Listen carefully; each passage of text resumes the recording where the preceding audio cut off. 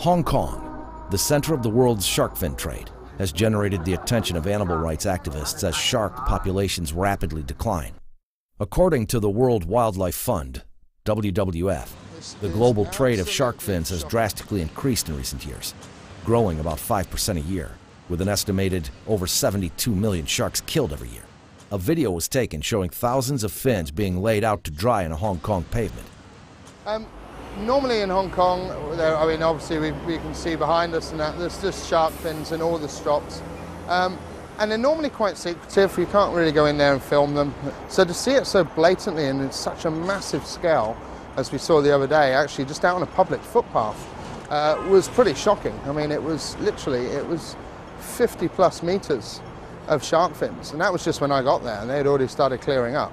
So, I mean, I did some rough calculations, and it comes to about 21,000 sharks. The fins are popularly used in soup across Asia, where a kilogram of shark fin powder can fetch anywhere from $25 up to $1,290. Traditionally, shark fin has been considered to have medicinal value, but now attitudes about the trade are changing. Uh, I like it very much. Uh, of course, it's very healthy as well, but uh, uh actually there is many substitutes as well. Uh, in my opinion, uh, that should be banned because the way they get the fins um, is not really humanized.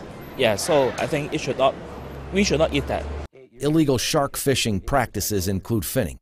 When captured sharks have their fins removed, often while they're still alive, and the dying bodies are dumped back into the sea.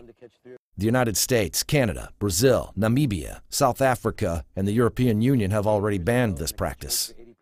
Activists are hoping that raising awareness will help Hong Kong to take official steps to limit or ban the trade. One of Hong Kong's most prestigious hotel chains, the Peninsula Group, took shark soup off their menu at the beginning of this year. Over 100 other restaurants have also taken similar measures.